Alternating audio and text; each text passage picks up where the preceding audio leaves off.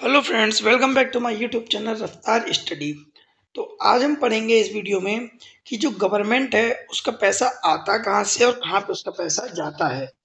इसके बारे में बेसिकली आज हम समझेंगे। तो देखिए, यहाँ पे बोल रखा है the annual budget features two pie charts that indicate the government earning and expenditure जो एनुअल बजट है, सरकार का गवर्नमेंट का जो एक फरवरी को आता है वो दो पाई चार्टों के थ्रू हम समझेंगे कि गवर्नमेंट की अर्निंग और गवर्नमेंट की जो एक्सपेंडिचर है, वो किस प्रकार से होते हैं और कहाँ से पैसा आता है, कहाँ पे पैसा जाता है, ठीक है? इससे क्वेश्चन बनता है आपका जो भी इकोनॉमिक्स से रिलेटेड या फिर करंट अफेयर से जो भी इकोनॉमिक्स से रिलेटेड है, उन सभी एग्जामों में क्वेश्चन आता है, ठीक है? तो देखिए, यहाँ बोल रखा है रूपी कम्स फ्रॉम रूपी है वो कहाँ से आता है बेसिकली ठीक है? तो देखिए डिफरेंट डिफरेंट पार्ट्स में बांट रखा है अलग अलग जगहों से पैसा आता है, जैसे पहला हो गया इनकम टैक्स इनकम टैक्स में ओवरऑल इंडिया से यदि हम बात करें तो 15 परसेंट ओवरऑल जितना भी बजट है, उसका 15 परसेंट है वो इनकम टैक्स से आता है, ठीक है? दूसरा पार्ट है हमारा union excise duty seven percent देखिए करंट डाटा है 2024 का, ठीक है? हर साल ये थोड़ा बहुत वेरी कर जाता है। तो यूनियन एक्सरसाइज ड्यूटी है, जहाँ पे एक्सपोर्ट इंपोर्ट होता है, वहाँ से हमारा आता है seven percent corporation tax corporation tax means company tax है वेरियस टाइप्स के जो कंपनीज़ के द्वारा टैक्स स्प्रेड किया जाता है, वो होता है कॉरपोरेशन टैक्स जहाँ से 15 परसेंट इंडिया का आता है, ठीक है? अगला आता है GST goods and services tax ये सबसे हाईएस्ट टैक्स है, देखिए सेकंड हाईएस्ट है सॉरी सेकंड हाईएस्ट ये 17 परसेंट है।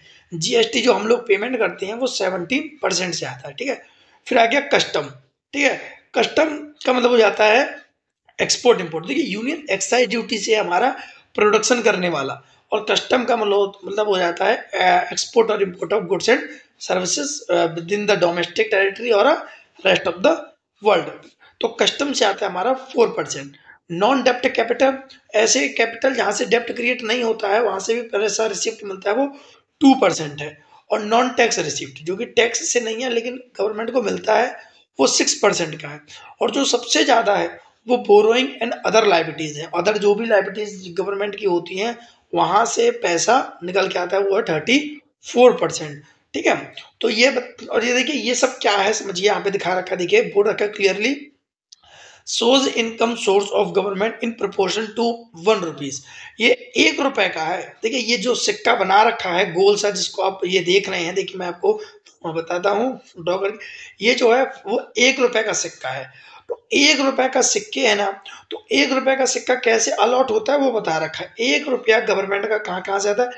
एक रुपये में से समझ सकते हैं पंद्रह पैसे का इनकम टैक्स है, सात पैसे का यूनियन एक्सरसाइज ड्यूटी है, पंद्रह पैसे का फिर से कॉरपोरेशन ऐसे करके एक रुपए का ये हिसाब है आपका ठीक है, एक रुपए का हिसाब आपको बताया जाता है। तो इस प्रकार से रुपीज़ है वो कम्स फ्रॉम यहाँ से आता है पैसा, ठीक है।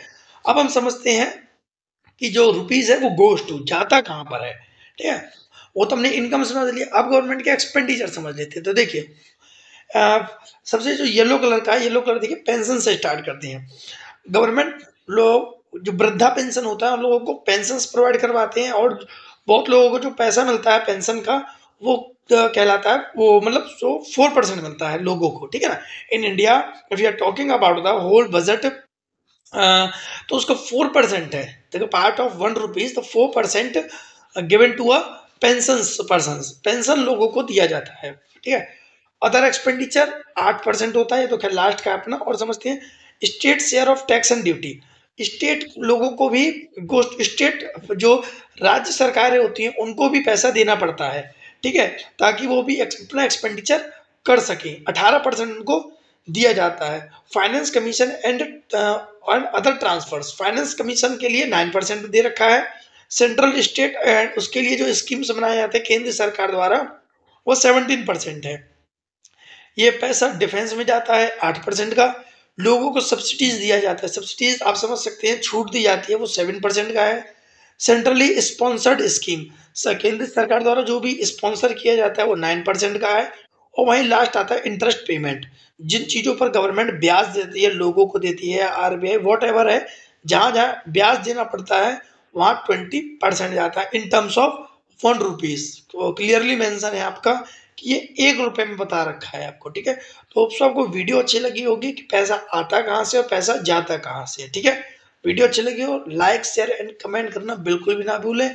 और कमेंट में आप ऐसे ही मुझे बताइए कि कौन से ऐसी वीडियोज़ हैं जो आपको चाहिए उनके ऊपर वीडियोज़ बनाने के लिए हम आगे बढ़ेंगे। Thank you